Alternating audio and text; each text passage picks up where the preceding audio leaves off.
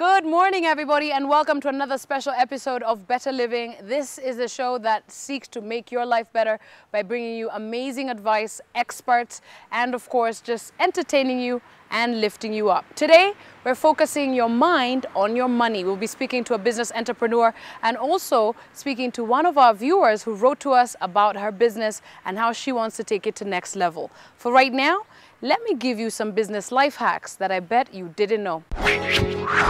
So, as I said earlier, today we're focusing on entrepreneurship and keeping our minds on money. How do we make more of it? This morning, I'm very privileged and honored to be sitting with an entrepreneur, motivational speaker, and business advisor, Josiah Otupa, who's got a great story of his own and also some advice for you. Tell us, who is Josiah Otupa? Uh, Josiah Otupa, he's a great man. You know, Josiah, as a, as a, name, comes from a king. Josiah was a great king in the kingdom of Israel kingdom. So, I'm a man who fears God, number one, and uh, I believe in uh, going and getting it. I don't believe in uh, sitting back and watching things. I'm a go-getter. I, I mean, I'm, I'm, a guy who goes down and dirty, dirtify my hands. I'm, I work hard for everything I do. So I'm a man who, who believes in uh, getting things done right. And that's, that's my motto in life. Josiah, looking at your life, where did you get your entrepreneurial spirit from? Yeah, it's a, it's, a fun story, you know, because uh, business entrepreneurial, it's, it's a fun thing. You know, it's something you do every day. I mean, you wake up to face new challenges. And for me, challenges is the, is the funnest thing. I'm ready to face it and I mean, when you conquer it, come out of it, you're like, hey, I did it.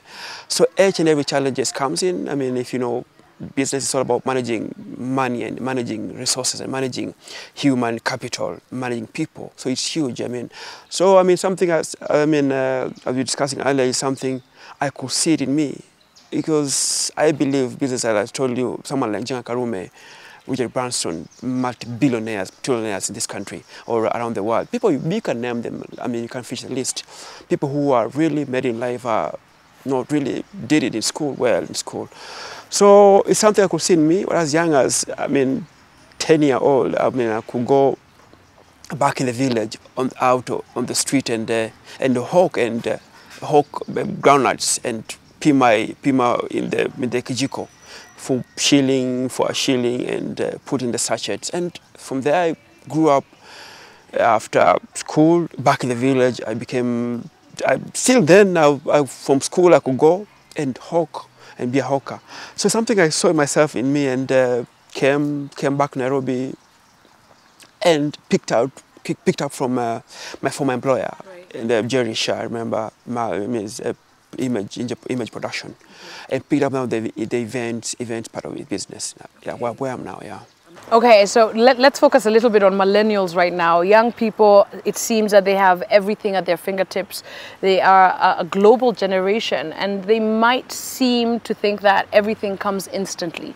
What kind of advice would you give to young people who are looking to start a business or looking to get into entrepreneurship? Uh, as you say, young people nowadays, I mean, they want to, they will see you driving a Range Rover and they want to have it. I mean, it's not possible. I mean, it's, it's, it's a journey. I always tell people, young people, you're not going to jump over from here to town. You want to get to town, you have to jump into your car and start driving and go along the way and get to town. So it's something you work out every day. You wake up every day. It's consistency. You wake up every day and, I mean, I remember when I was, I was talking about setting up event company.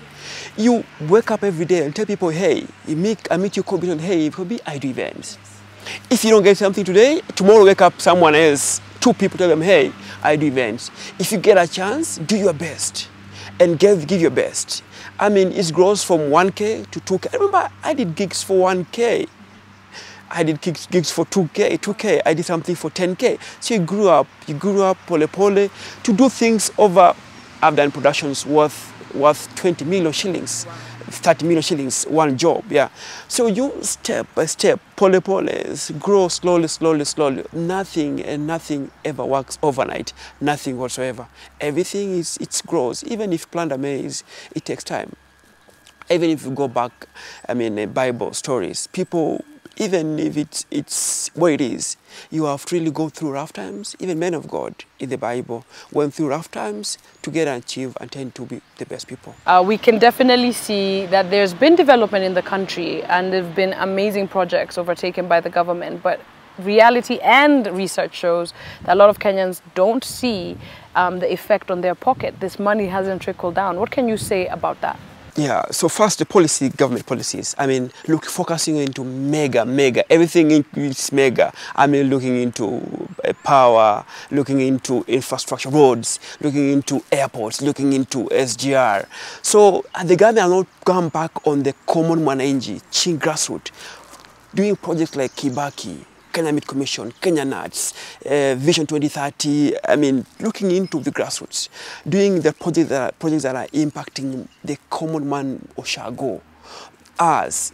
I mean, because, you know, if you look at it, if, if the, the, the, the wheel is going round, then money circulates, and then the corporate companies get money because everything that is when money is reaches common energy, then people are empowered they can buy milk, they can buy sweets, eh, they can buy commodities, mkate, maziwa kwa duka. Then they don't have money, they're not buying those commodities, so it affects the factories. So they shut down. If affects universities, the universities closed the other day. The parents don't have money, they're not going to afford to pay school fees for their kids. So universities close. I mean, banks, they close, shut, shut down. Many institutions are shutting down because the wheel is not going round. The money is going back to China. We gave China to build a road to build an airport. Ken Chinese policies is cut, cut costs. You find a foreman sleeping in a tent and boiling rice, whereas they could have empowering hotels and doing that and giving back and all that. So we have wrong partners in place to work with. Okay, so a, a, lot of Kenyans, Josiah, uh, like to get into business without really kind of knowing how to go about it. What would you say about people who just get into business for, for getting into business sake? There's quail eggs, we follow quail eggs. Tenderpreneurship has become a thing. What would you say about that demographic? I think it's where we come from. I mean, we, we, we are Kenyans are fighters, we are fighting spirit. I mean, we've worked so we took the power from, from, from, from the British government. And then came now the people, the second generation that came to took power, to took power from, from, the, from the British was the Asian community. But now when, when now Kibaki came back and the Kenyans grabbed the, the, the, power and we worked very hard. So, I mean, we are innovative, we are fighters, we are go-getters, Kenyans. That's the spirit who we are, that's who we are. I mean, you see, in Australia, Kenya, Kenya, Kenya became the first senator, black senator. You see America, America, Kenyans, I mean, all over the world. We, M-Pesa, I mean, uh, is a, is a, is a, is a, a, a, good story. We've moved around the world. I mean, we turn around the world. I mean, many innovations. So if you come into business, I mean, look at East Africa. We are moving East Africa economy. Rwanda, Rwanda Stock Exchange run by Kenyan, uh, I mean, uh, Uganda, Ugandan uh, service industry run by Kenyans. Tanzania still, mean, schools, teachers in South Sudan. So we are, we are, we are the, I mean, I mean uh, go-getting spirit. We are, we are movers. Josiah, one of the things I can definitely say is a lot of people are fearful about getting into business. There's a, there's a fear that the business will fail. Uh, what can you say about that? And how did you particularly overcome this? How I overcame is, uh, I mean, for me, I would say it's in the blood, business in the blood. So it's, it was, it, it is still difficult. A challenge I face even now. I mean, it's still, uh, you, I don't believe in, uh, I mean, settling down and being comfortable. So you always want to strive, strive and higher and higher. So it's a challenge, I mean, challenge of retaining the staff, paying the staff, retaining the clients, getting business, business and in events guys coming in. I mean, events is it's an, they become an everyone's business. Exactly. Everyone want to wake up tomorrow, want to do events. Like the quail eggs story. Yeah. so maintaining the clients because they'll get a cheaper deal. I mean, you have to retain, sustain your your standards of delivery at the higher price. There's someone who's offering a quarter of your price. So convincing that client to still keep you is the most difficult. But at the end of the day, status you know, go down, you have to still grow, you have to still invest millions of money in equipment. So it's something uh, you have to keep fighting every day, keep fighting every day. And uh, raising finances is not an easy thing. It's the most difficult, re reinvesting. When there's challenges. So going still, you say it's going back to the, going to the banks. Convincing a bank to give you money without a collateral is, you uh, say, milking from the stones. So it's, it's a challenge every day. We face every day. But uh, say resilience, we fighters and we. We, it fails today, tomorrow you, you go back again and knock the door, and knock the door. And, that, and that's the point. Yeah. Keep trying. So you multiply from the uh, 10 to 100 shillings you get, you push to invest it. And then you get 10k tomorrow, invest it. You don't eat it. Eat a little bit, reinvest it. And then to grow again to uh, 10, 100k, you reinvest it. Eat a little bit. So grow, you grow slowly, slowly. I mean, get to meals of money. So don't wait for huge amount. If you can get a million shillings, work with the 10k you have. Yeah, reinvest it. Don't buy the bigger, bigger, bigger stock. Buy smaller stock. Start moving from smaller stock. I mean, if you have you have selling glasses, you wanted to buy a whole container, start say, buying 10 boxes and start selling 10 bo- f- from 10 boxes. If you move to 20, you move to slowly. A lot of people want a business, a lot of people want success, uh, but a lot of people are not willing to take a risk. What would you say about taking risks and why it's crucial to do it, especially in business? For you to succeed, I mean, uh, for you to succeed, you have to take a risk. You can never, ever, I mean, uh, succeed without going there and believing in yourself and saying, hey, this can be done and it will be done. And is a spirit you have, in yourself. I can do this, it can be done. Stepping out there, facing whoever it is, a corporate marketing manager, whoever it is, a client, you selling, whatever you're selling, even if you're a hawker, you're selling the biggest idea on- on earth. Believe in yourself, say, hey, Kobi, I represent this company, I have this company, I can deliver for you, we can be partners in any capacity, I can deliver for you. Trust me with your product, trust me with your brand, trust me, I will do this. So it's a speed. If you fail here again, take a risk tomorrow, reinvest in, take a flight. I remember at the time I was chasing a deal in Rwanda. I mean, look into it, you have to invest in a flight, invest in accommodation, but you're not sure if you're going to get, that deal. So it tells I was on production. I remember when I was doing the first production ever done in Rwanda. So this client told me, hey, come, we have a, we, we talk and see. I mean, I invested in a boat flight. I got accommodation, but the first time I didn't get the deal. Yeah, I lost it. But I say, hey, okay, it's okay, it's gone, Now it's fine. I went there again, and this time around I got the deal. So you have to keep investing. Remember, I have to take flights to UK, going to meet clients. It doesn't really work out, but it's going to work. So you have to keep on taking risks in, in, in, in believing in yourself and pushing it each and every single day. Eventually it will work. And consistency, consistency in business is consistency. Taking your passion into a fully fledged business for a lot of people in fashion, in beauty, in food, in anything, in the auto world, they find it very, very difficult. How, how do you scale up your business so that it's competing on a global scale? Yeah, I mean, the world has become a, a global village, I mean, internet. So, I mean, I want to talk, to, to look into who is Kobi. The first thing you give someone your card, first thing they go into is log into your website, log into, check on your Instagram, log into, I mean, whatever, Twitter, anything. They want to check who it is. I mean, so profiling is key. Make sure that you were profiled. I mean, if in business, you have any business, no matter how small, you must appear online. I mean, that's why I set up one of my companies called Mobisoft uh, um, in Kenya. We are an IT company focusing on um, uh, programs and setting up website and all that. So you have to have a proper profiling online. That's key. It's key. It's key. Everyone now, I mean, as I know now, America now drives on on uh, internet Right. business. Yeah, all these things Everything. are You everything. apply for a job, you go for an interview. Yeah, it's in. So as a to be success person, history, as a business, individual, whatever you are, whatever you're doing, you must make sure that you were profiled online. Checking something you love, your passion, and to, I mean, uh, a renowned, global uh, company, brand, product. I say it's, it's, uh, it's for me so difficult. It's, it's, it's, it's, it's fun to do it because when you're growing something you have, when you're doing something you want to do, it's fun. But again, it, challenges are there, yes.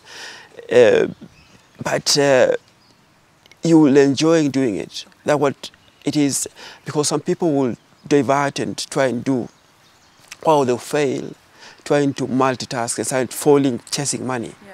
But again, if you chase your passion, you can never fail. So it's, it's, it's, you need to focus and get, be consistent, doing what you love and grow it slowly.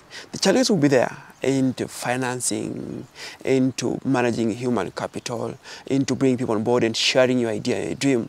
Is the most difficult to share your dream with people because they don't believe what you, you believe in. They don't believe. They, some people come there just for this payment, for salaries, to be paid, and get to buy your idea, believing in you, and helping you grow it, grow up, grow, because it's something you believe in and you love doing. So bringing someone else to buy your idea and believe in it and grow it is the most difficult because you can't do anything by yourself.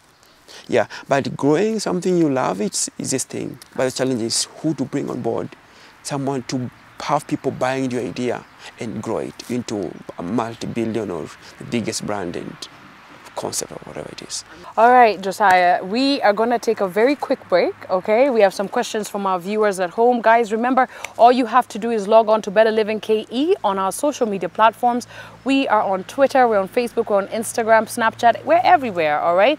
Write to us, tell us some of your thoughts, tell us about your business as well, and we'll be happy to share some of these questions with our guests. For now, Josiah, we take a quick break. We'll be right back after this. Don't go anywhere. All right, everybody, welcome back. It's such a great morning. Today is a mind episode focusing our mind on entrepreneurship and how to make more money. And after you make it, how to save it, how to invest it, so that you can grow not only your family, but your business as well. All right, we have Josiah Otupa who's here with us, advising us about how he did it himself and how those principles and tools have worked for his business. He's a great business advisor. Log on to social media platforms to connect to him. But I have a couple of questions from you at home. We start with Sam from Nairobi, who is asking Josiah about partnerships. A lot of people, including him, have been burnt by partners. How do you decide the right partner for your business? How do you walk that journey together? A partnership, Kobi, is, is the most difficult thing. I mean, when you're starting up, I mean, because you're planting a seed. So this guy believes in something else, you believe in something else. So coming together, I mean, business partnership is the most difficult thing. I've tried when I was growing, I mean, I was growing my businesses. We fall, we fell off, fell off a million times with my partners. So I chose, hey, let me just do my own thing by myself. So what works, each synergy works. When you're big, you're grown, you look in synergy coming together in partnership. I mean, you you see what you're good in, I bring what I'm good in, and then we work together into a client. So that synergy works. Later the business, you can, but when starting, it is works. It needs highest discipline. I mean, mean in terms of, in terms of, if you're my partner, your strength is in finance, focus on finance. Right. My my strength is networking, I focus on networking. And then probably we bring someone else to run the businesses. I mean, run the businesses in operations. But it's the most difficult thing. It works at times if partners really acknowledge and focus and have one uh, vision of the, growing the company. You know, I'd like to add that you can actually do a background check. You've just alluded to that, that you can do a background check on this person. Um, the information is out there right now. I think that would be some good advice for Sam as well, right? To it works, yeah. Okay. We have uh, Grace from Meru who wants to know about capital. Money is such a crucial conversation when it comes to starting a business. Um, talking, of course, about having no capital to start. You have a great idea, but you have no money. How do you start? Do you go to bank loans, SACCOs, chamas? Do you borrow from family? How do you go about it? How did you do it? I, I would tell Grace that, uh, hey, Grace, I mean, you have an idea. I mean, uh, capital is not always important business, is the idea. Once I have a unique idea, money will always follow you. You do what you can do. You print business cards. It's like a thousand shillings, go print your business cards. Start telling people that, hey, um, I do this. Then if you're good in what you're doing, start the first project you get, no matter how small, start working on it. Deliver, do a good job. Deliver to the client. It's not getting referrals. From that job, you can say, hey, I did this. See what I did? Now, I believe the same client trust me with a bigger challenge. You grow. You go to a different client, you, they will trust you. From there, consistency and growing the business grows. But don't look at money. Money is not always, you can make, we've made money. We've made money. But that's not always the important thing in the business. It's what you do and what you do every day and every day that brings you up growth. So in business, you don't need money, you need the idea. All right, fantastic. And we have um, John from Nakuru also is, is wondering about bank loans and borrowing. That's such a huge thing for a lot of people who say they just don't have it. Where do they start? Try as much as possible, never borrow money. I mean, I've, I've tried that. I mean, uh, I mean, burn fingers in that. So try as much as possible. Start small. Don't go big. Start small. Start as you alone. Whatever it is, start small and grow big. Don't go big. If you go big, you go down. Don't start borrowing money from people and borrowing money from banks. These banks will kill you. I mean, you must have the muscles to muscle up with the banks. Otherwise, they'll bring you down. They'll auction you. So try as much as possible to not to go for loans. Try start small. As I said, I told you earlier, you have uh, 500 shillings. Go to a designer, make a logo, 2K, 3K, make a cheap, go to a cafe, make a, make a logo, print a letterhead, print a, print, register a company my Center. You can go register a company the cheapest. I mean, the cheapest man, you your own a business name with a thousand shillings. Go another 500 shillings, print, print cards, go make a letterhead and start selling your passion, start selling your idea from, from basics. Every day, tarmac, walk, uh, meet people. I mean, it's all about networking, it's all about knowing people. I mean, business is with the people. Don't rush into the loans and all that. Start small, grow big. Yeah. Thank you, Josiah, for some really crucial and great advice. Okay. Now, I told you earlier that I have a surprise for you, right? Yeah. So I want you to come with me to a lady called Elly who makes amazing food, she tells us. All right. She wants to take her passion and really get it to be a fully fledged business. And I think you can help her with that. Are you up for it? I don't mind. I I, love food. uh, I mean, yeah, uh, being where I come from, we love food. Yes, eating. yeah. fantastic. Um, Okay. As we do that, we want to make sure that you guys stay connected to this conversation. Money Woes is a segment that we have that really seeks to demystify this issue of finances and money. It's out there, we all want it, we don't know how to get it. Well, guess what? We'll give you some advice on that. Take a look at Money Woes. Thanks. Very nice. Thanks. All right, so this is Elly's place. I think mm. that's her over there. Hi, Elly. How are ya? Oh, what a beautiful house you have. Thank you. This is so lovely. Welcome. I think you've cooked for us. I can smell good food. You know, that's all we do on Better Living. We just love to eat. And good food, right? Yes, and good Yes. food. Yes. Thank How you are so Lovely, much lovely for home. responding to my email. Yeah. Hey, thank yes, you. yes, yes. I'm so Thank happy to have you. inviting us. huh? Oh, absolutely. Mwah, mwah. How are you? Mwah. I'm good. How are you? Hello, hi. How are Hi, you? Elly. Josiah? Nice to meet Yeah. you, Josiah. Yeah, Thank you. Thank Great. you. Same here. Excellent. Thank you. very much. Beautiful food. I Oh, can see. amazing. Yes. uh, Looking Thank you, thank you. lovely. Okay. Okay. All right, guys. So we're here at Elly's place. She's all about clean eating, but keeping it tasty. All right. You want to know how she prepared this amazing feast? We've got breakfast, lunch, and dinner here. I'm eating everything. Please trust me. All right. Thank you for having us, hon. Absolutely. Josiah, are you gonna eat Thank with you. me? I will eat. For I sure. love food. All right, guys. So if you want to know how she prepared this meal, we do that courtesy of Foodies, and then we take a quick break. We'll be right back. You really want to listen to this conversation in just a few minutes. Don't go anywhere. Welcome back, everybody. Yes, we are sitting in front of a feast, as I said earlier, and you guys watched the recipe that our beautiful Elly just made for us. Thank you. Oh, you're welcome. Absolutely. All right. So I'm gonna get to eating, okay? And what I want Josiah to do is to take Elly through how to turn this amazing, amazing talent that she has into revenue, into a fully fledged brand, like Martha Stewart, right? Oh yeah. Africa. Oh, yes. I can't wait. Beyond I the can't wait. borders. Beyond the borders. I'm gonna take my breakfast and run, and go eat in the corner. Please enjoy. Thank you. Thank you, Josiah. Yeah. You are in very good hands. Elly, you're in very good hands. Awesome. Enjoy, awesome. you guys. Thank you. Okay, cool. Elly, hi. How are you? I'm good, Josiah. How are you? Awesome, great. Um, nice coming here and seeing lovely food, although I want to eat.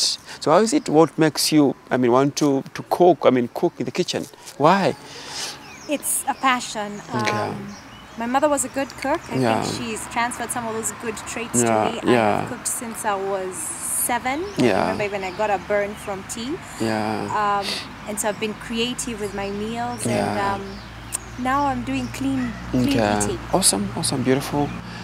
Yeah, so uh, why you want to turn into business? I mean, why just not make it for your family? Why just want, why do you want to turn into business? Why, why, why business? Like I said, I like to cook. So this is how it started. I am a health person, so I Mm. Work out on the regular. Yeah, yeah. Um, and I was working out with um, some two gentlemen who I just would find in the gym every morning. Mm. Yeah. And we'd have these conversations Okay, of, awesome, you know, awesome. after after after the workout, what do you eat? And Mm. these guys would tell me after the after their workouts, they'd go and eat chapati, then go and eat mandazi. I'm Yeah. like, you woke up at five to come to the gym. Why would you counteract all that Mm. hard work? So they asked me, what would you serve me Oh, yes, so that I continue with the health that I've Mm. started. I continue with this good stuff that I've started in the morning. So I started providing them with healthy meals. They're still my okay. clients. This is almost a year ago. Awesome, awesome. Yes, so they'd get two meals from me, and you could see it was like night and day. Their their waists just kept shrinking, shrinking, shrinking. Mm-hmm. Okay, okay. And um, I sh- said sharing with my friends, and now from Mm. my friends, my friends kept sharing with other friends. So now I've got an enough client base that I'm like, it's time to make it a big, Mm. viable business. Awesome, good, Yes. good stuff. So I mean, I mean, people are cooking everywhere. I mean, um, I know you're saying that I mean, you want to turn into a health eating, health lifestyle, healthy eating lifestyle. But I mean, I see that everywhere. I mean, people trying to do it. What makes you think that you're going to stand out and make it and grow into a big brand? What makes you think that? I mean, what do you have that's different besides you say, hey, it's um, everyone will say in the kitchen they're the best cooks. Everyone will tell, say that. So what makes you you're going to stand out and have that consistency and stand out to be a big brand and uh, a biggest kitchen and the biggest place to go eat? Yeah, Okay. why? What makes Number you think? one, it's the ingredients. Number two is the technique of how I Yeah. cook. Number three, it's um, the portions. Okay. You are right. Everybody can cook, and you Mm. can walk down, you know, the road and find someone who will give you a meal. Yeah, yeah. But what you don't know is where they source their ingredients, Mm. what they've put in so that it tastes good. People, you know, would put in sugar so that the, the food would taste better. That's added calories. They put in maybe too much salt, Mm. Yeah. or would put in a spice with words that you cannot Yeah, pronounce. yeah. I'm authentic, um, locally made products. I stick to natural herbs as much as I can. Mm. The thing that I use the most, which I call is my is my better evil, Yeah. is salt. Okay. So I use very uh, regular ingredients that you can find with your Mm, mama mboga. You know, so for example, um, in one of the plates I have um, chicken breast, I have rice, and I have broccoli and carrots. Mm-hmm. okay, awesome. Very little oil. I use, um, and that's why I say the, te- the technique. I use, um, I saute a lot of my food, so Mm. it's not a lot of stews, because the stews needs you to add extra things in Yeah. it that you don't want. And then I also Yeah. keep the ingredients to a minimum Mm. um, the more the ingredients, the more then you're adding on calories that Mm. are um, going to be something that you need to work out on. So that's my differentiator. Mm. Okay. And then the quantities. You will find food, but people give you so much food. And remember when growing up, your mother said, finish that food? All of us have that little Mm-hmm. Voice that says in your head, finish that food. So you're full, but you keep stuffing yourself because you need to finish the food on your plate. Mm-hmm. Your body needs to be able to digest your food as fast as possible so that it's effective. So Mm. Little foods that are effective to keep your metabolism going. Awesome. So now it's different. It's no longer like a kitchen, no longer like your friends going to into a different world. It's going to be business. So what have you prepared to be in the business world?